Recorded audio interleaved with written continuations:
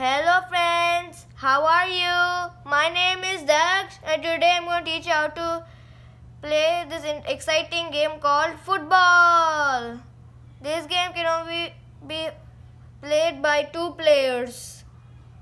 To start the game, you need four white coins. One, two, three, four. And you need four blue coins. One, two, three, 4. For the ball, you need one red coin. 1. To like if the if his player once done, the ball will come to them and then they have to strike it. So player 1 got 4. So they'll get 4 points then. One, two, three, four. Now it's player 2's turn.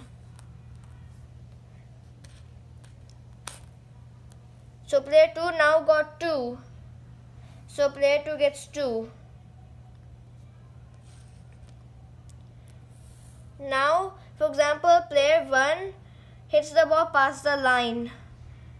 And so player 1 hit past the line. So player 1 is out. So there will be a new player like that. Same thing for player 2 and and also uh, once if you reach 9 above 9 you um, you go to start with round 2